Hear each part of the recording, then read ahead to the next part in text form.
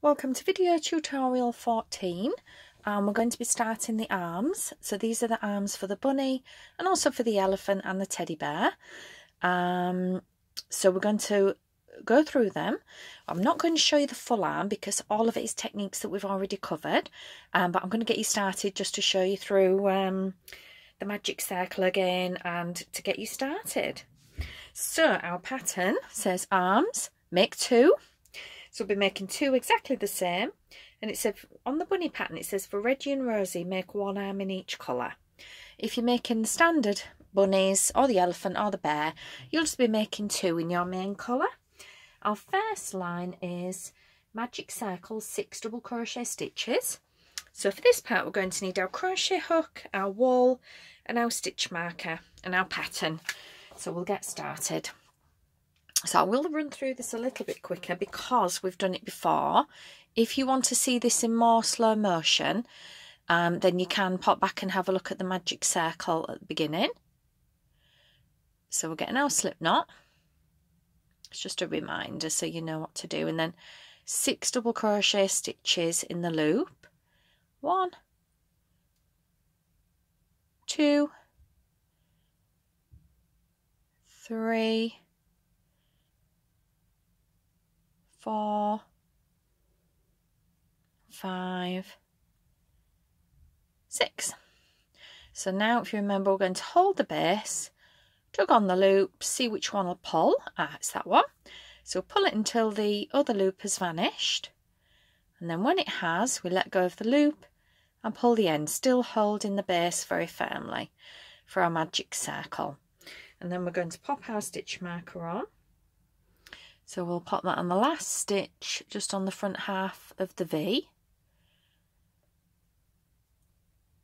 Then pop our hook back in. And then we're going to do um, our next line, which is, let's see, increase times six. So it's a very similar start to um, well, the exact same start as for the, uh, the bunny legs.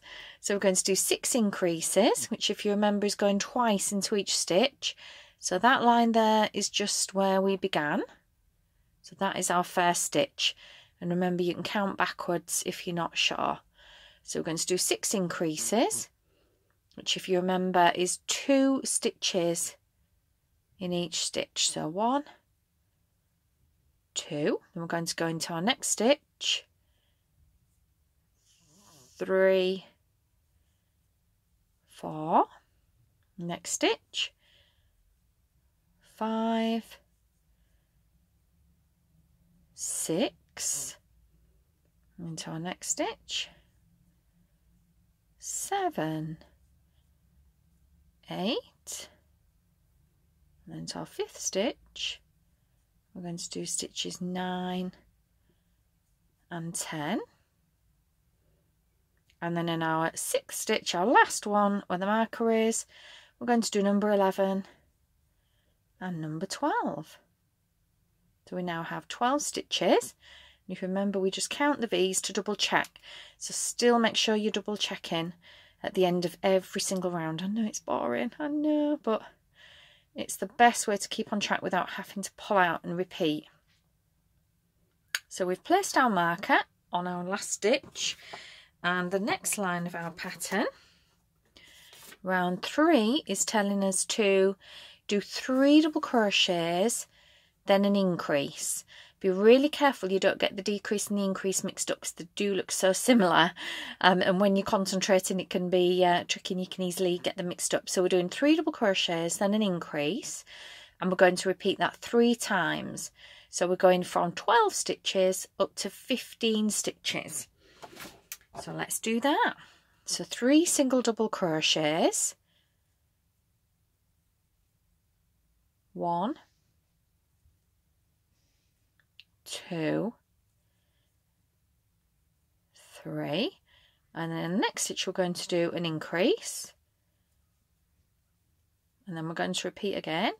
So three single double crochets. One, two, three and then an increase. And count as you go along if you want. So that would be 10 and then it would be 11, 12, 13, and then our last one is stitches 14 and 15. So we know we've got 15 stitches, which is correct. That's what it says on our pattern.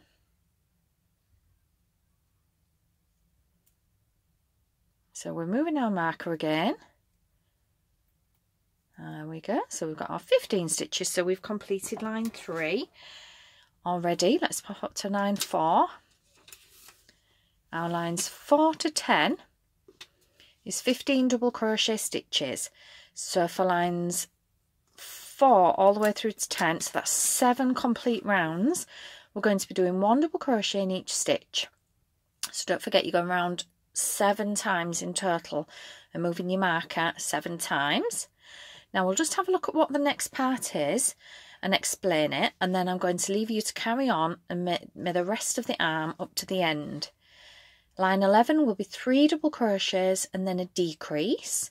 So very similar, we're going to do three double crochets like we did in the last round, but instead of an increase, we're then going to do a decrease, which if you remember is catching the front two loops double crocheting them together.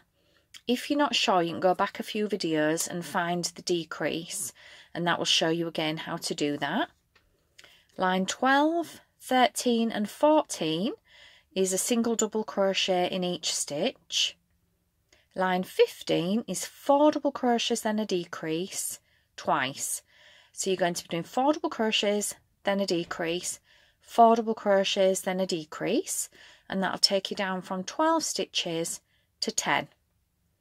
16, 17 and 18 it's just one double crochet in each stitch so you're going around three times with one in each stitch and then it says not to fasten off yet to stuff. So what I will leave you to do in this video is to carry on and complete the arm up to the end of line 18 and then stop. The next video I will show you how to fasten off and stuff it and close the arm. So don't attempt that yourself, just get to the end of line 18 and I will see you there in a moment.